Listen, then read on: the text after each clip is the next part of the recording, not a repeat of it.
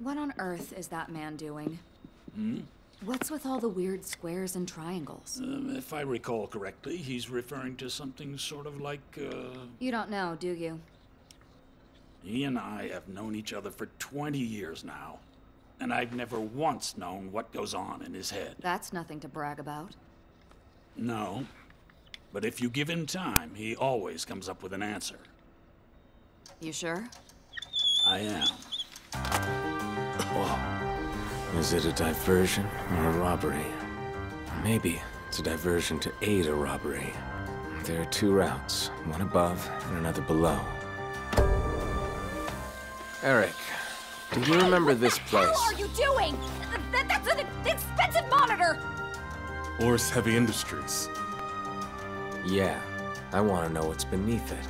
It's the abandoned Alpine Metro line. It connects to the Trans Island Railway, right?